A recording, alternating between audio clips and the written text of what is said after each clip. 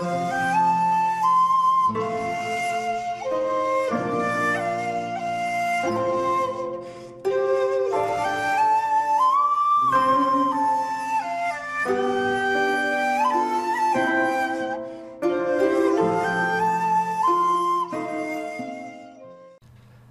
there, this is Solitary Ronin from Solitary Ronin Films, and welcome to another Through My Letterbox video. Um, I think we're now on part 8, which is a bit ridiculous. Um, but again, people just keep having films at silly prices, so I'm just going to keep silly buying them. Because um, on the bright side, I won't have to buy them later that's my rationale. So I'm just going to start.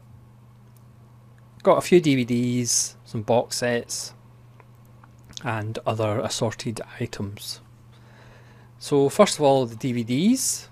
The first one is Attenberg, which is the kind of same group as um, Yorgos Lanthimos.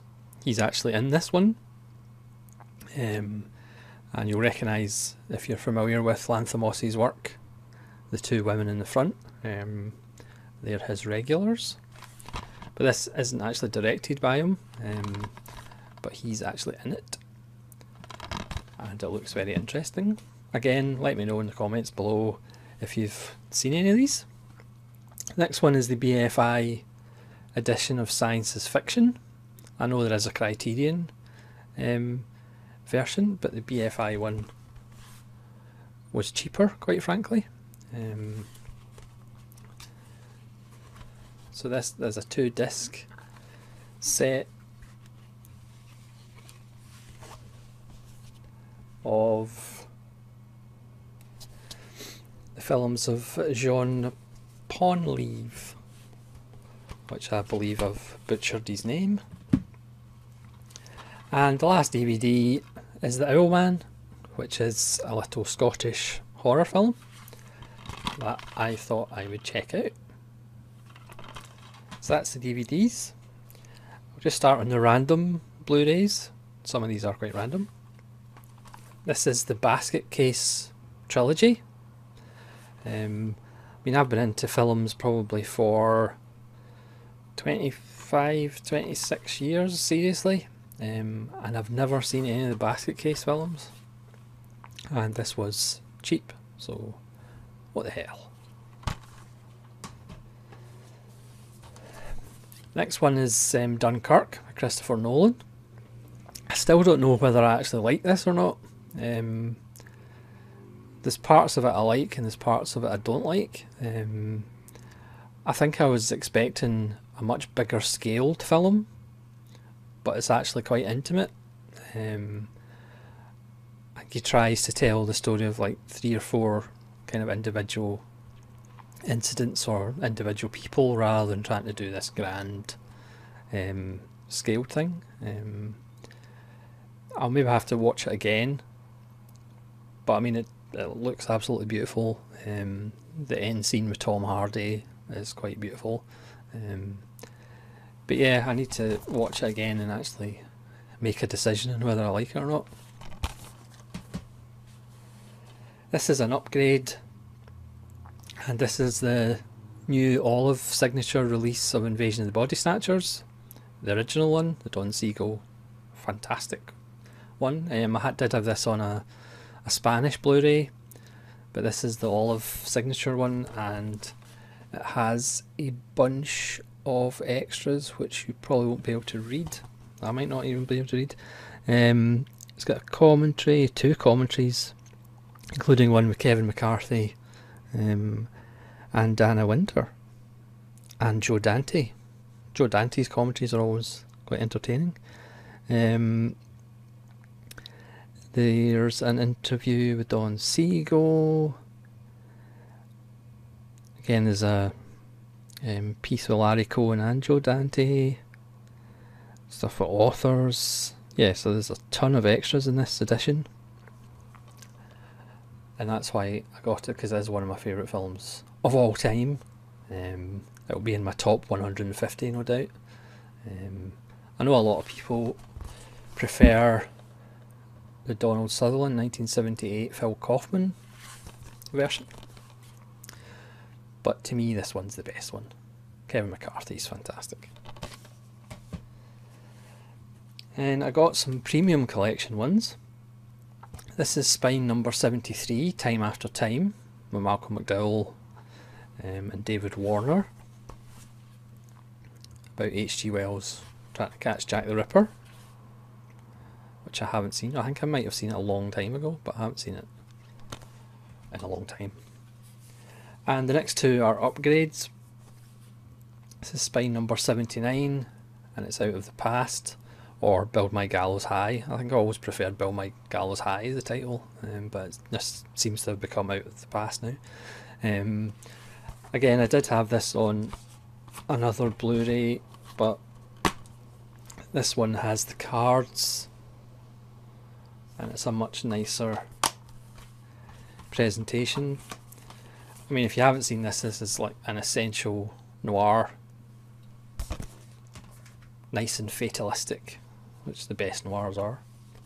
And I'm so glad this one finally um, came out in a decent release. This is spine number 80, and this is Nicholas Ray's On Dangerous Ground. Um, this is the Nicholas Ray film I think's underappreciated the most. Yes, the studio kind of messed about with it, as studios always kind of did in those days.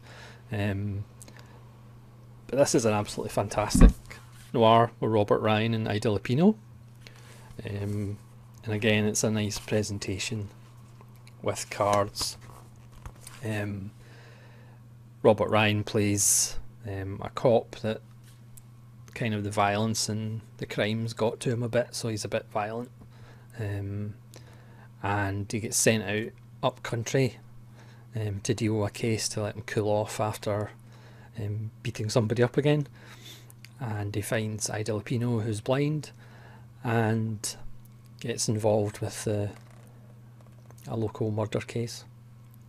And it's just a, it's a beautiful film, um, and for years he just couldn't see it, couldn't find it anywhere. But I'm so glad it's actually um, got a nice premium release because if you haven't seen it, it's well worth checking out. Um, again, I might have to do a top 10 Nicholas Ray at one point, well, I will. Um, and this would be near the top because it's quite a fantastic film. It's one of my one of my personal favourites. Unlike all the other films I have. Um, this is another new release. This is on Plan B Entertainment, which I'm not really familiar with. And this is The Boston Strangler with Tony Curtis and Henry Fonda. Apparently this is first time on Blu-ray. So keen to check that one out again. Again, this is another film I haven't seen for years. Fahrenheit 451 by Truffaut. I do have the Truffaut um, box set as well. Um, and my favourite one's maybe his last one, which is Finally Sunday with Fanny Ardant and Jean-Louis Trintignant. That's fantastic. Um, I'm about to do a top 10 Jarmusch, but I haven't actually seen Paterson. So I thought I should pick this up and actually watch it before I finalise my top 10. Um, because entries 9 and 10 might get changed. I heard good things about it, so I thought that would be a good idea to check out before I finalise my top 10. This is another old one, Andromeda Strain. Robert Wise. That's a nice wee film. Again, it was cheap. There's Buck Privates Abbott and Costello. I do like a bit of Abbott and Costello. Um, I've got Abbott Costello meets Frankenstein. Um,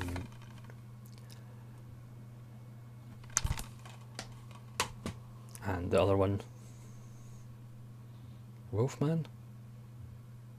Yeah, I may have completely forgotten. Um, this is Unearthly Stranger with John Neville, which is a lovely little British science fiction film. with Philip Stone, or um, the barman from The Shining, as he's better known. Yeah, I'm doing a run of Amicus films now. This is um, Doctor Terror's House of Horror, with Peter Cushing and Christopher Lee.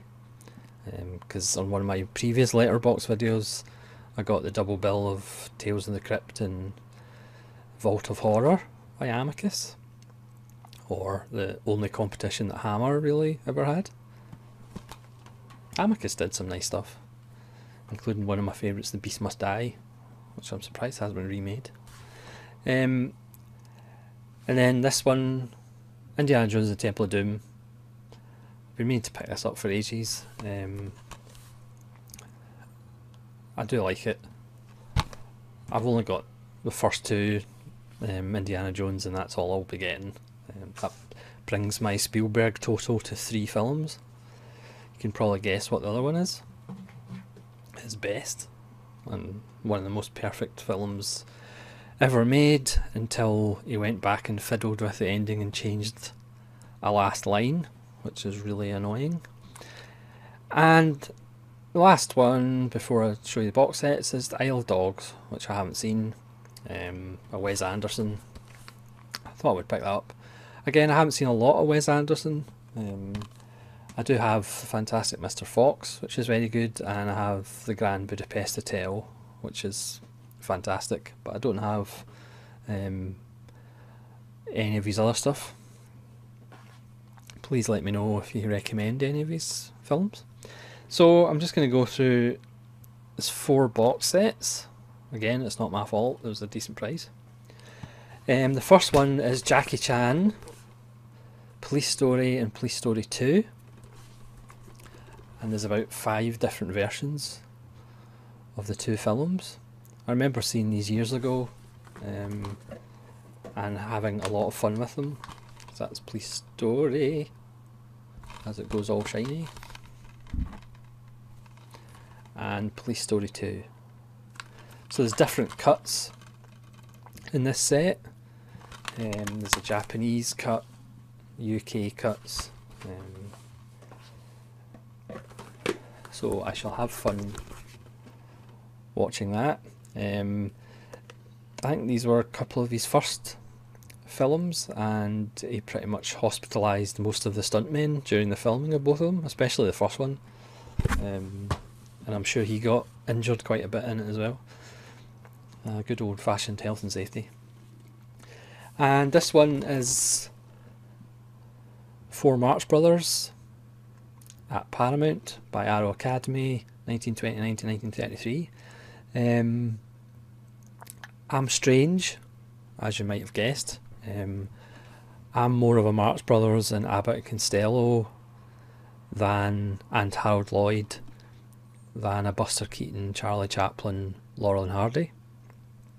Um, yeah, I'm just strange that way. So this has got lots of limited edition contents. And this is the coconuts, animal crackers, monkey business, horse feathers, and duck soup.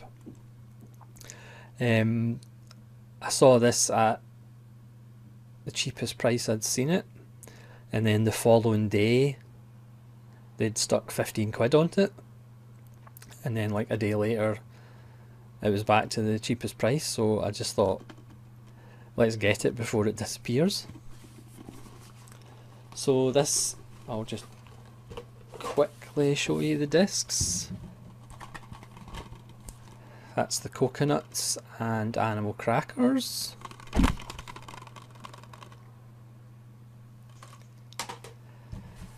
And then we have monkey business and horse feathers.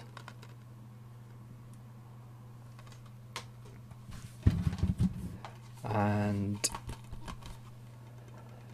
duck soup. We got guns, they got guns, all gods chillin' got guns. And there's a nice booklet as well. There's Groucho. I can see you in the kitchen bending over the stove, but I can't see the stove.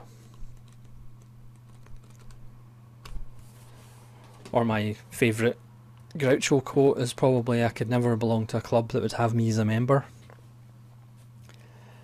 And the next two are quite big in more ways than one. Um, this is the Werner Herzog collection by BFI. I do have a couple of these. Um, I've got Aguirre Wrath of God on a steelbook. Um, so this actually has 18 of his films on Blu-ray and a lot of his shorts, films, not his actual underwear. And this has a booklet.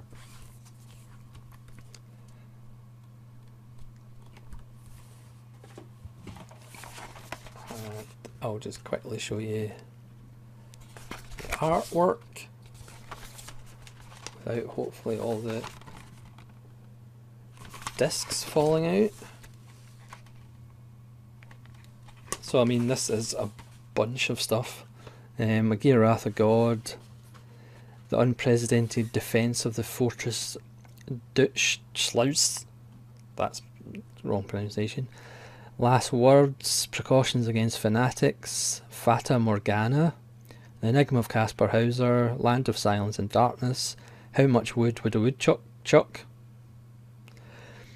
Stroszek, Heart of Glass, Nosferatu, um, Woyzeck, Handicapped Future, The Great Ecstasy of Woodcarver Steiner, Huie's Sermon, Fitzcarraldo with Burden of Dreams, the Les Blank wonderful documentary, um, Werner Herzog Eats His Shoe, an episode of the South Bank show about him, Cobra Verde, God's Angry Man, and The Guardian Lecture Werner Herzog in conversation with Neil Norman for 83 minutes.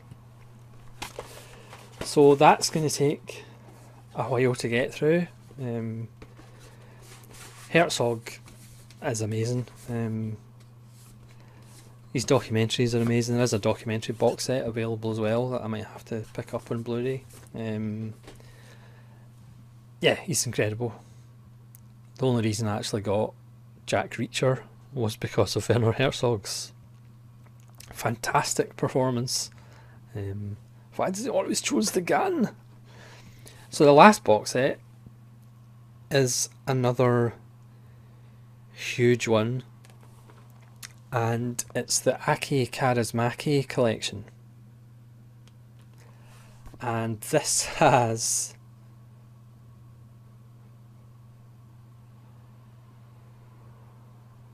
about 17 films and nine short films.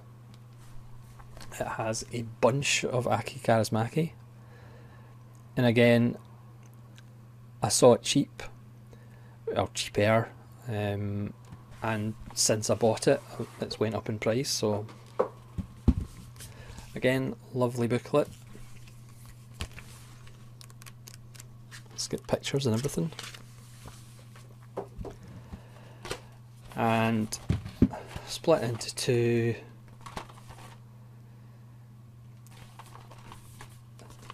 sleeves here. This one has Total Balalaika Show, Take Care of Your Scarf, Tatiana, which is a great film.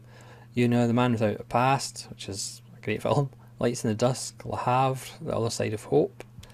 I mean, so this is pretty much um, I think there's just one film missing, maybe two films missing. Otherwise, it's pretty much everything he's done.